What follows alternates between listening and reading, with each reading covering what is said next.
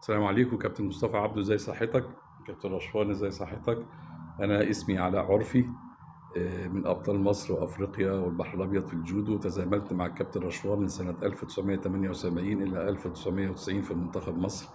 آه، سافرنا مع بعض معسكرات كتيرة جدا وبطولات كتيرة جدا خلال الفترة دي طبعا. آه، لو هتكلم على الكابتن رشوان مش هيكفي طبعا حلقة أو اتنين أو ثلاثة حتى نتكلم عليه.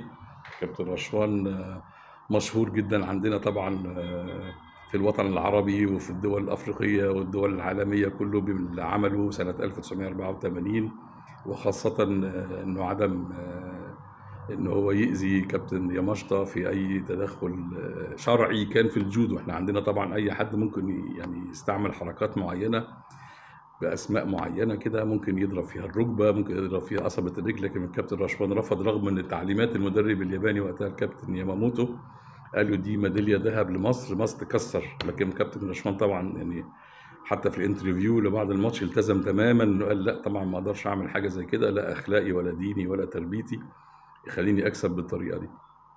وكابتن رشوان حقيقة كان بيتميز إن هو رغم انه بيلعب في الوزن التقيل والمفتوح لكن كان عنده رشاقة ومرونة في أداء الحركات. بحيث إن تحس انه واحد خفيف يعني مش ما هواش واحد يعني تقيل في الحركة بالعكس كان حركته إنسيابية جدا.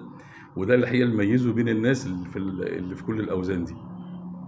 فإن شاء الله كده نتمنى له التوفيق دايما في حياته ال- الأسرية إن شاء الله. ونراكم على خير. شكرا.